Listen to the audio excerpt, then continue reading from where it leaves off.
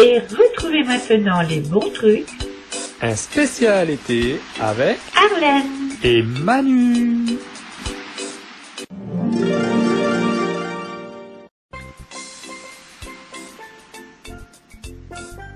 Bonjour. Suite à la description de l'épice ou de l'aromate, vous pourrez trouver en texté une recette en commun à cette épice ou à cet aromate. Donc n'hésitez pas à aller la consulter. Merci à tous.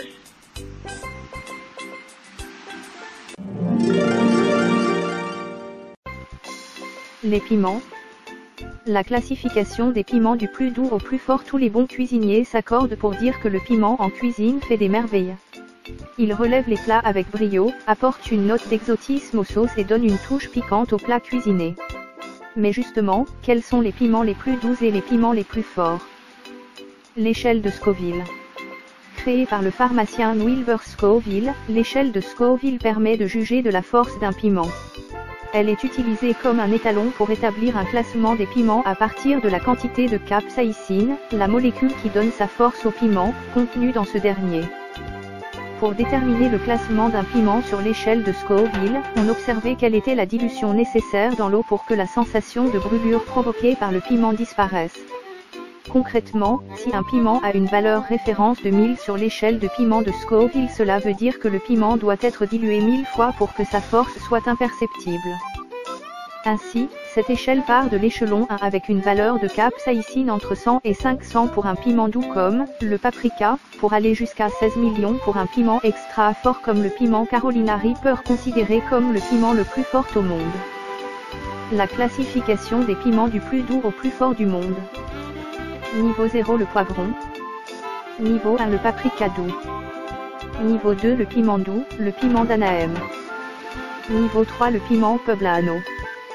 Niveau 4, piment d'Espelette.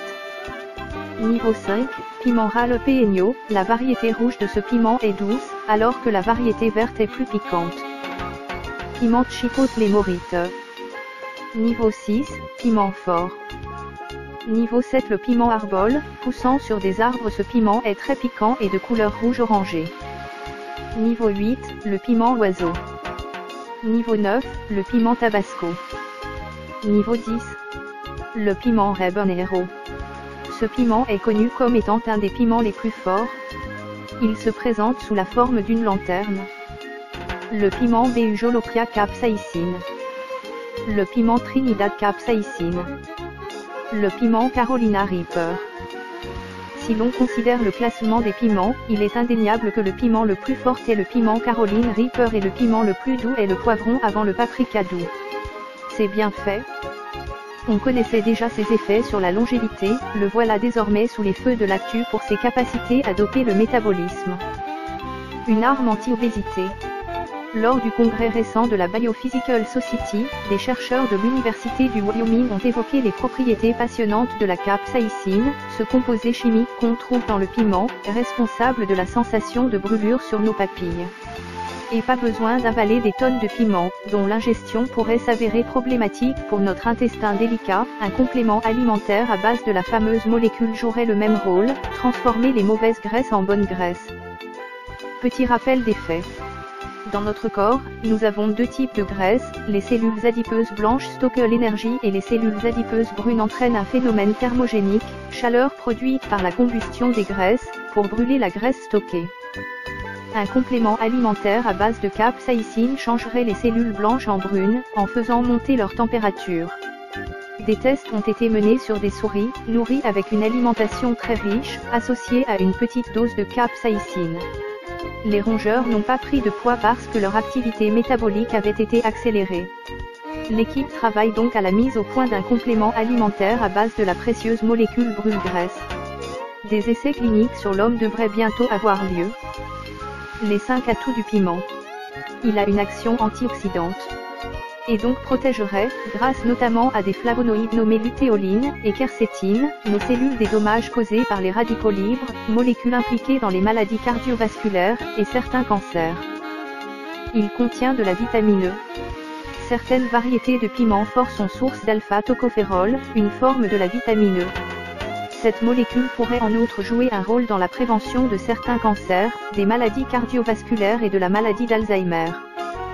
Il contient de la vitamine C, qui contribue à la santé des os, des cartilages, des dents et des gencives. Elle protège en outre des infections, accélère la cicatrisation et favorise l'absorption du fer. Il contient de la vitamine B6. Elle contribue à la fabrication des globules rouges, en leur permettant de transporter davantage d'oxygène. Elle renforce également le système immunitaire. Il contient des oligo-éléments, fer, manganèse et cuivre. Le fer est essentiel au transport de l'oxygène et à la formation des globules rouges dans le sang. Il est utile au renouvellement cellulaire, à la production d'hormones et la fabrication de neurotransmetteurs. Le manganèse protège des dommages causés par les radicaux libres. Le cuivre, lui, est nécessaire à la formation de l'hémoglobine et du collagène. Et si ça vous pique, mangez du fromage. Manger des piments forts peut être une activité dangereuse. Si vous croquez dedans, et que vous avez la bouche en feu, ne vous jetez pas sur votre verre d'eau.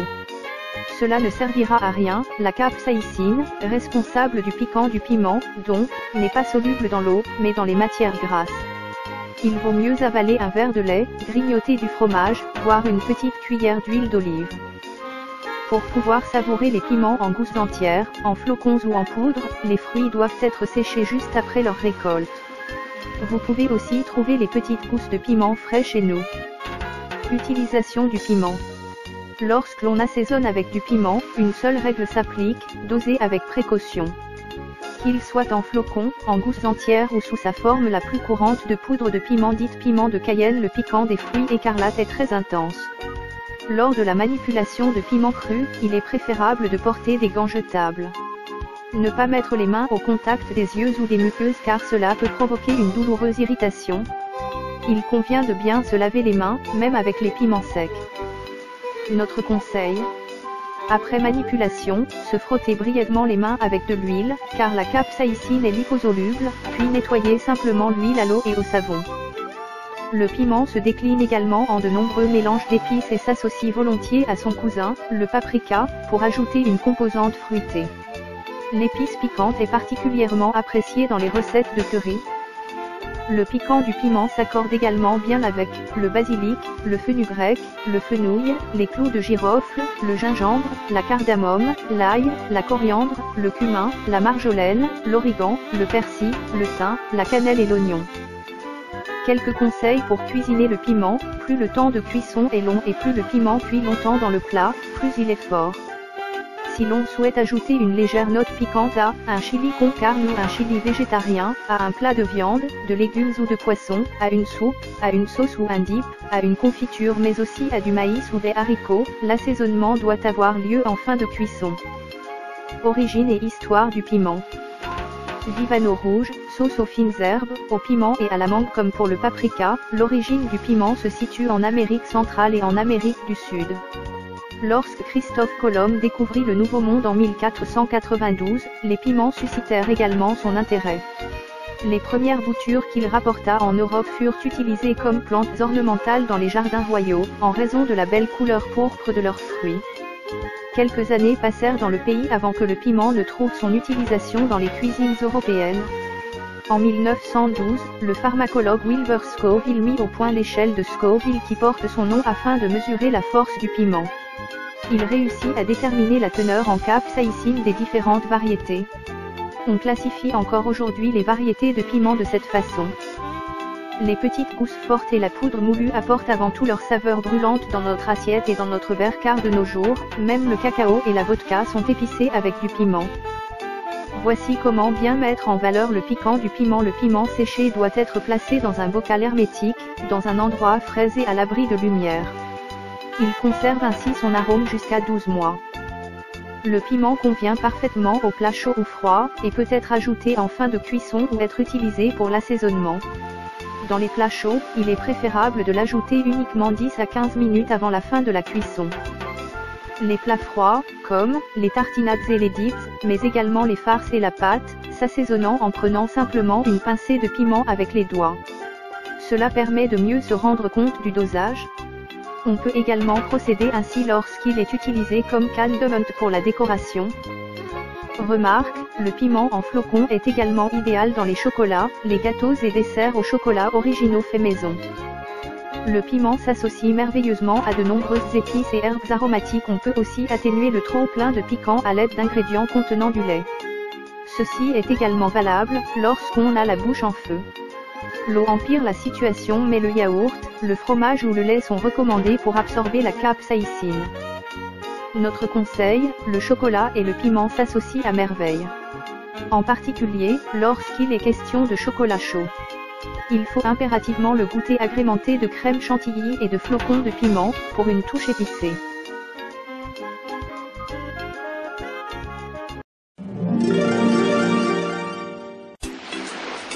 Vous venez d'écouter Les Bons Trucs Un spécial été avec Arlène. et Manu.